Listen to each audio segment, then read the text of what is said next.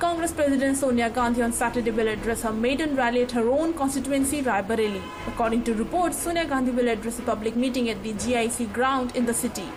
Last time on 2nd April, Sonia Gandhi visited the city to file her nomination, but she didn't address any public meeting or rally.